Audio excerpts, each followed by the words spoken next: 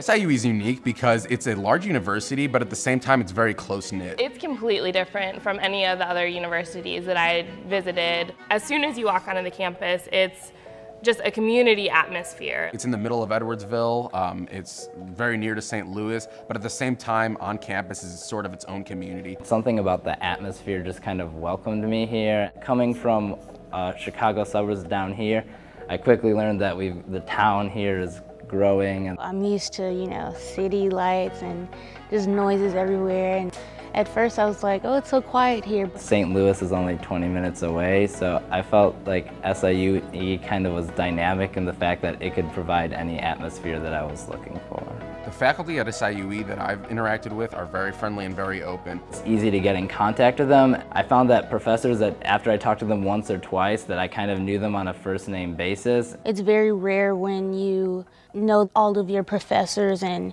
and can call them by their first names. They're very, very knowledgeable. And I like that I was able to communicate with my professor and not kind of feel intimidated talking to them. And they were willing to help me strive for success. URCA stands for Undergraduate Research and Creative Activities.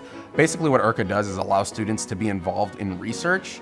The URCA program is great because not only do you get to do research that's involved with what you're learning in, in the classroom, but also you get to connect with a professor. And that one-on-one -on -one connection uh, is really wonderful. Getting involved with URCA really provides me with some of the things that I think I will need moving forward into grad school. I was concerned that going to a state school that sometimes maybe you'd feel like a number in the crowd, but I found out that it's kind of opposite from that. I feel like uh, the level of education I'm receiving here is superior. I think because of the close proximity to St. Louis, we have a lot of opportunities in terms of internships or co-ops that students can do um, in the city.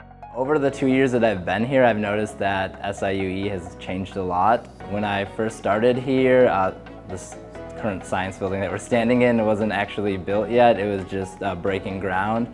Uh, additionally, the engineering building and the art building have been expanded since my freshman year.